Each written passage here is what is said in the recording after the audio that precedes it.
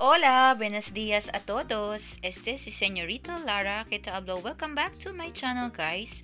So for today's vlog, I'm going to teach you on how to hide subscribers on YouTube. First, open natin yung Chrome.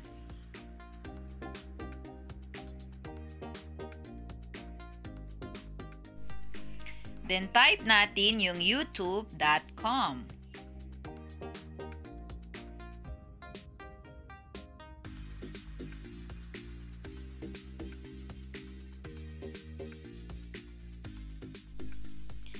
Then, click natin yung three dots and then, i-check yung desktop site.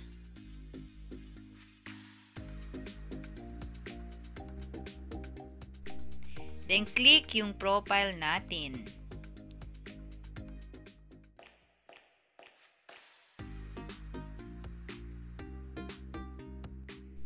Then, click natin yung YouTube Studio.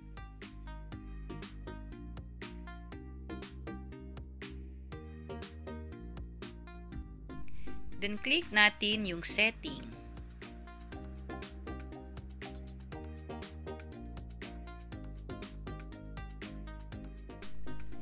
Then, click natin yung channel.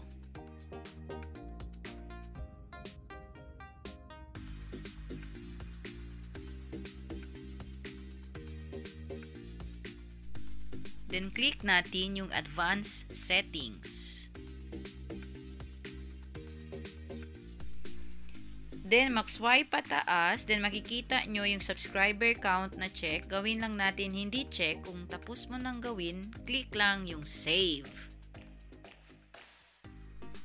Then, you're done. Kung gusto mo talaga makita kung naka-hide, open natin yung YouTube.